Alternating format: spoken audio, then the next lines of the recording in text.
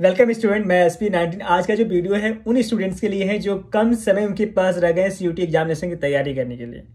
क्या वो तरीका है जिसके माध्यम से हम अपनी तैयारी को कम समय में, अर्थात एक कह सकते हैं कि दो महीने के अंतराल में हम कैसे कर सकते हैं, आज इस प्लानिंग के बारे में बात करेंगे, ताकि हम कम समय में अपनी, अच्छे से अपने सिलेबस को, अपनी थ्योरी को कवर कर सके और हम यूनिवर्सिटी के लिए तैयार हो सकें। सबसे पहला मेन आपके पास थ्योरी बुक हो, और थ्योरी बुक में सबसे इंपॉर्टेंट कि जो भी हाईलाइट मेन मेन जो टॉपिक्स हैं, उनको आप अपने सामने, जहाँ पर आप स्टडी करते हैं, वहाँ पर चिपका दीजिए। पहला पॉइंट है। तो उसके बाद जो आपके C U T fine arts का जो लिस्ट है मीन्स उसका जो सिलेबस है C U T N T के वेबसाइट से आप डाउनलोड करिए। उसमें देखिए किस किस पॉइंट्स पर ज़्यादा फोकस किया गया है। उस पॉइंट्स को भी आप दीवार पे लगा लीजिए कि ताकि आपको बार बार दिखता रहे। अब नेक्स्ट पॉइंट ये है, आप सारे जो टॉपिक्स हैं, उनको कैटेगरी में बांट दीजिए और उसको डिवाइड कर दीजिए आपको। और डिवाइड में आप एक दिन का गैप ज़रूर रखिए कि यदि मान लीजिए हमको सात दिन का टाइम है तो उसमें से कम से कम दो दिन गैप ज़रूर रखिएगा। दो दिन गैप मीन्स कि इसलिए गैप रखा जाएगा ताकि आप उसको दोबारा, उसको रिवाइज कर सके जो भी आपने पहले के क्वेश्चंस आपने जो भी पॉइंट्स को कवर किए, उनको आप रिकॉल करें देखो, आप अपने नोट्स को दो तरीके से बना सकते हो। सबसे बेस्ट है एक शॉर्ट नोट्स एक डिटेल नोट्स शॉर्ट नोट्स में आप जो है जितने भी खास खास पॉइंट्स को लिख कर लिख लीजिए और उसको जो चीज़ पढ़ रहे हैं, आप उसको पढ़िए। और उसको आप बिना देखें, आप उसको डिटेल में लिखिए। इससे जज कर पाएँगे कि जो मैं चीज़ पढ़ रहा हूँ, वो अंडरस्टैंड कर रहा हूँ, उसको लिख रहा हूँ, इससे आपका जो पॉइंट्स होगा, वो कवर होगा। और कोई ऐसा पॉइंट है जिसको दिमाग में रखने में या फिर उसको तैयार करने में आपको दिक्कत हो रही है तो बहुत से ऐसे तरीके हैं जिनके ट्रिक बनाकर उसको याद रखा जा सकता है। जैसे आपको पता होना चाहिए कि मेरे ने सी यू फाइनेंस की जो पेंटिंग्स हैं, तिथियों को लेकर या पेंटिंग को ध्यान रखने के लिए बहुत दिक्कत होते थे। तो मैंने सी फाइनेंस के लिए मैंने टिक बना रखा है। मैं आप लोगों के लिए उसका प्लेलिस्ट शेयर कर दूँगा। आप उस पर आइडिया ले पाओगे कि मैंने कैसे उसको तैयार किया है। ऐसे ही आप अब भी ट्रिक बना सकते हैं और उसको अपनी तैयारी कर सकते हैं। अगली तैयारी क्या होती है? सबसे बेस्ट होता है कि यदि आपके फ्रेंड सर्कल हैं, उनसे जो भी चैप्टर्स पढ़ रहे हैं, आप उनसे ज़रूर उनसे कहिए कि इनमें से मुझसे पूछ लीजिए। ठीक है?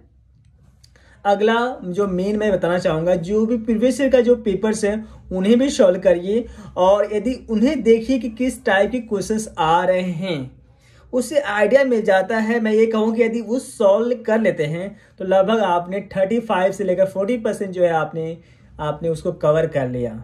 उससे प्रॉपर आइडिया है। अब बात आते हैं कि जो हमारा जो सी यू सिलेबस है, हमारा जो फाइन आर्ट का चैप्टर उसमें कौन कौन सा सबसे इम्पोर्टेंट और नीन है मतलब खास है।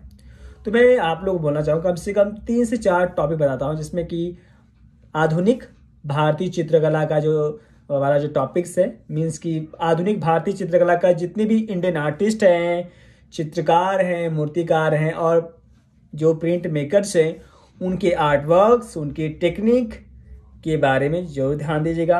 सेकेंड में बात करूँ बंगाल स्कूल के बारे में, जो अवनींद्र नाथ रविन्द्र नाथ नंद लाल जी, यामिनी राय, यहाँ तक अमृता जी का, इनकी पेंटिंग उनके तरीके, और साथ में रवि वर्मा जी को तो इन सारे आर्टिस्ट के आर्टवर्क एंड उनके बारे में जो सीयूटी के अंदर लिखा हुआ है उसको ध्यान रखेगा इसके अलावा हम दो टॉपिक में जैसे कि पहाड़ी शैली और राजस्थानी शैली इन्हें आप कर सकते हैं। देखो इनमें से सबसे ज़्यादा जो लंबा जो चैप्टर आपका हो वो राजस्थानी है।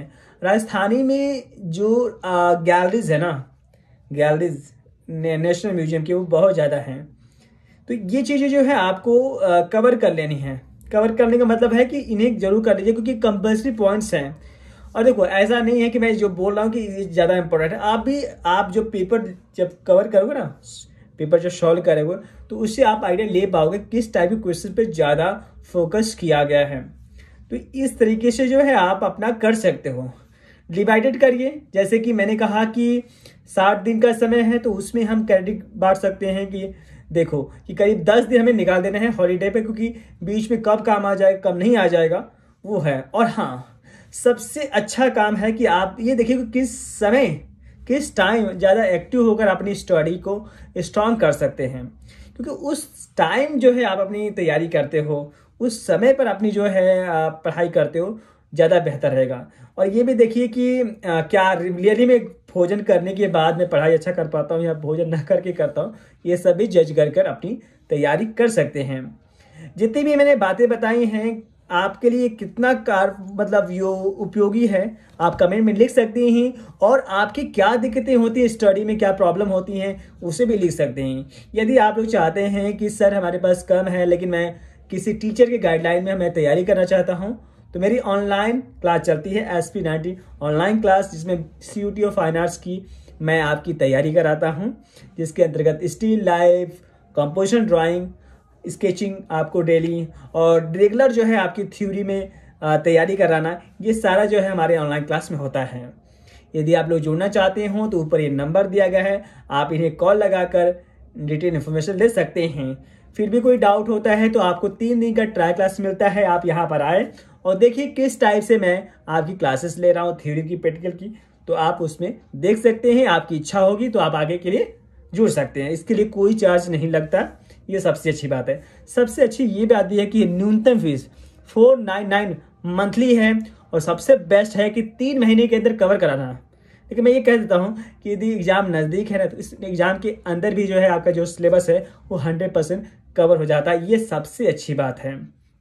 और कभी कभी स्टूडेंट के ऊपर भी डिपेंड होता है कि उसकी जो लर्निंग कैपेसिटी मतलब लर्निंग मतलब चीज़ों को सीखने की इच्छा शक्ति कितनी ज़्यादा है।